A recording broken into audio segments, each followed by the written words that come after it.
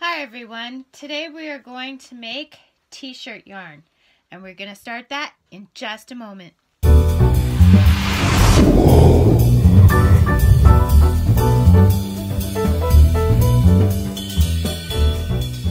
hi everyone, today we are going to be making t-shirt yarn and so the materials you'll need is a pair of scissors, sharp material scissors, and an old t-shirt.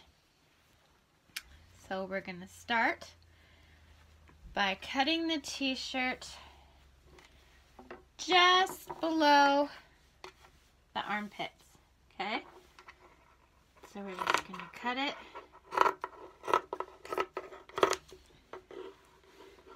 just like so. Okay, and we'll put that part aside. Okay, so the main part we're going to work with is what's left. Okay, so we're going to start by cutting off the bottom part. We don't need this for anything. And we're keeping it as a tube, okay? We're not going to cut it across. We're keeping it as a tube at this point. Okay.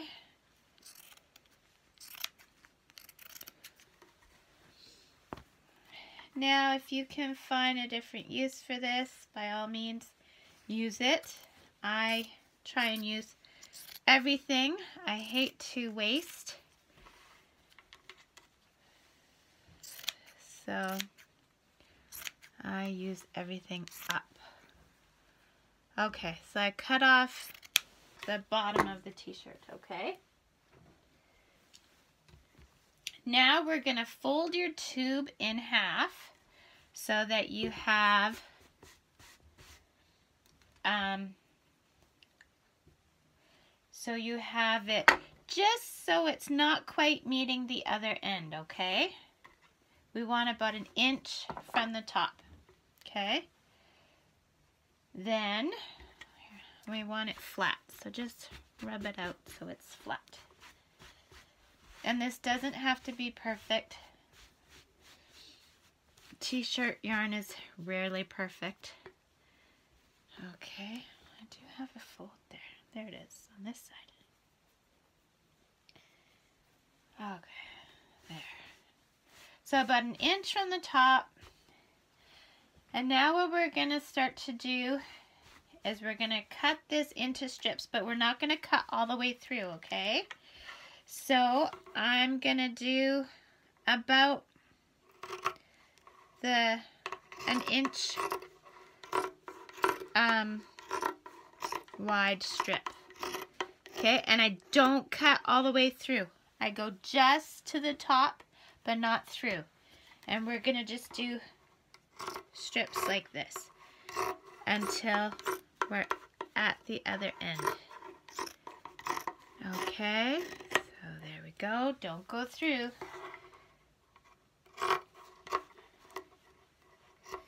Whoops. Okay, so maybe these aren't my sharpest scissors.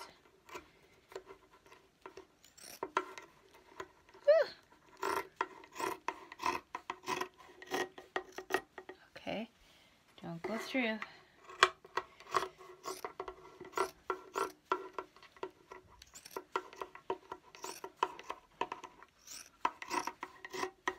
So,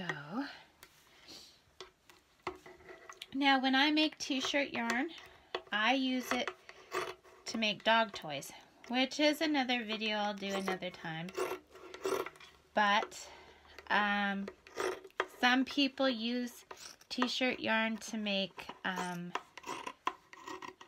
like rugs. You can use it for that. Some people use it to make, to crochet um, dog beds or things like that. You can use it for all kinds of things.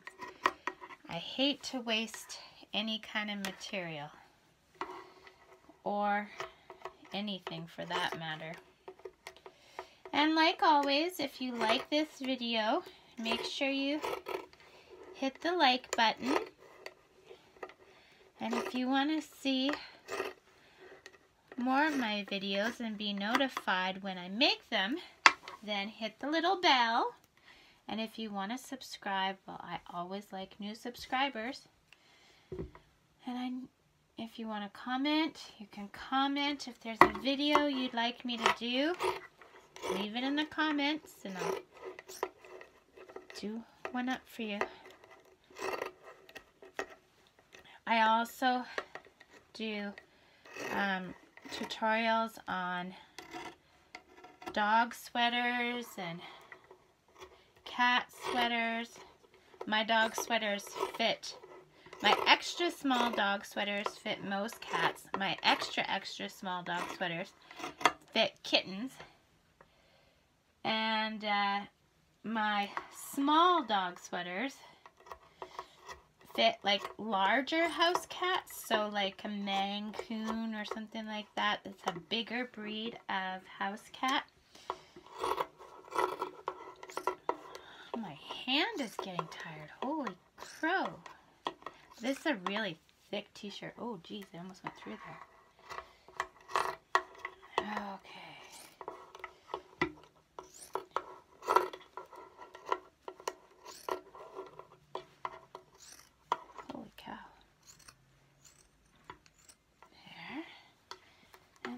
Last one, I'm just going to do it in half. It's not quite an inch, but it's close.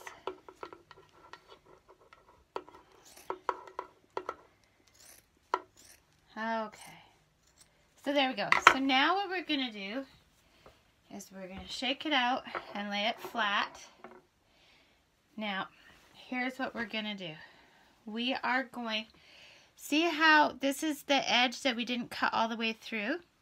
We are going to take this and we are going to cut diagonally from, so, okay, so see, this is the top we did not cut through. I am going to go on an angle and I'm going to cut there, okay? Then I'm going to go an angle and cut from here to there. And then I'm going to go on an angle and cut from here to there. And I'm going to do this all the way across. Always cut on an angle. And you're cutting from the one slit to the other slit, okay? I hope you can see this clearly. So, from one slit to the other slit at an angle. One slit to the other slit at an angle. And it doesn't matter if your t-shirt has writing on it or whatnot. It doesn't matter for my projects, for my dog toys. Um, if you're doing a carpet, you may care. But, I don't know. Doesn't usually matter to me. Okay. From one to the other. Now this was where I almost went through. So see how narrow that is? No good. There we go. And then corner to corner. And then at the end, we're not going to have another corner to go to, so we're just going to go to the end. Okay? So the last one we did at an angle. Okay? Now, we, whoops.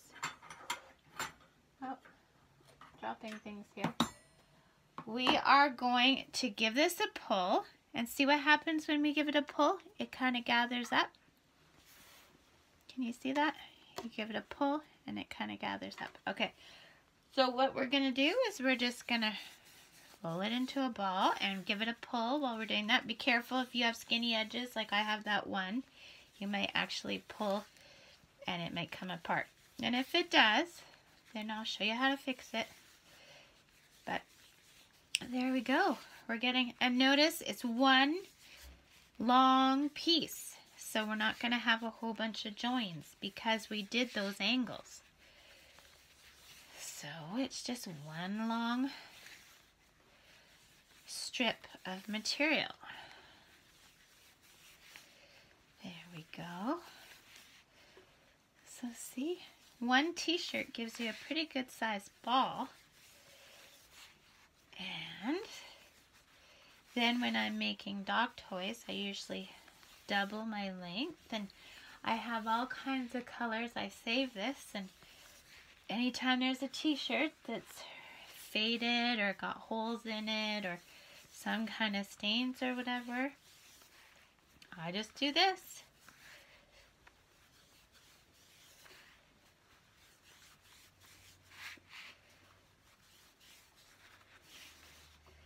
And see, we're just rolling it up. Oops.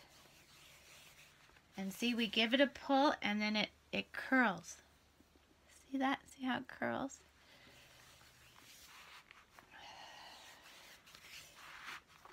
So that one t-shirt gave me a ball this big.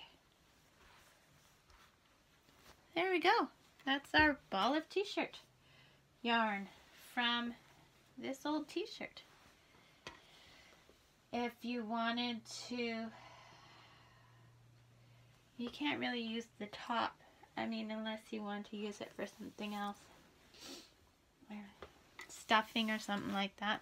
But the bottom made us a nice ball of t-shirt yarn rather than just show it, throwing the old t-shirt away. And now, like I said, people use t-shirt yarn for rugs. They use it for uh, that I've seen them used t-shirt yarn for those cat caves. I've seen t-shirt yarn, heck, even used to make hats. So, yeah, you can use it for all kinds of things. So, there you go. A quick little lesson on how to make t-shirt yarn. Thanks for watching. Hit the like and subscribe. And have a great day. Bye now.